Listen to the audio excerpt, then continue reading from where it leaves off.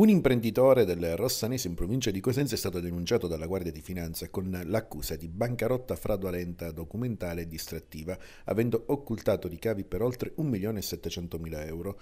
L'inchiesta trae origine dalle risultanze di un'attività di natura tributaria già avviata dai finanzieri a partire dal 2015 finalizzata al controllo del corretto adempimento alle normative tributarie da parte di una società della città bizantina esercente attività di commercio di capi d'abbigliamento. Le fiamme gialle all'esito dell'attività ispettiva hanno appurato che le scritture contabili erano state tenute in maniera irregolare non essendo aggiornate dal 2010. L'imprenditore non aveva inoltre presentato le dichiarazioni dei redditi per ben quattro annualità consecutive ossia dal 2010 al 2013, risultando quindi evasore totale e completamente sconosciuto al fisco. Sulla base di queste risultanze nei confronti dell'imprenditore, oltre che essere stato denunciato, è stato disposto anche un procedimento penale, il sequestro preventivo per equivalente sui beni nella disponibilità del denunciato al fine di tutelare la pretesa erariale. Gli ulteriori approfondimenti investigativi richiesti dalle fiamme gialle hanno consentito di appurare che l'uomo nel frattempo era stato dichiarato fallito dal Tribunale di Castro Villere che erano state sottratte alla procedura del fallimento merci acquistate per 1.700.000 euro. I finanzieri infatti sono stati in grado di accertare che le rimanenze di magazzino costituite da capi d'abbigliamento erano state distratte attraverso vendite in nero in danno ai creditori della società fallita, per cui come previsto dal codice penale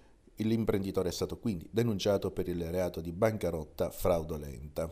Il reato societario prevede la pena della reclusione fino a un massimo di 10 anni.